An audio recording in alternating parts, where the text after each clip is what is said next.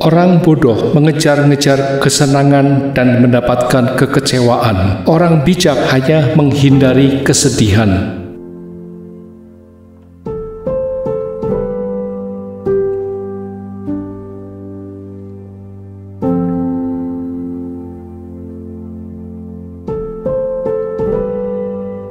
Hidup mengayun seperti sebuah bandulan ke belakang dan ke depan di antara kesakitan dan kebosanan.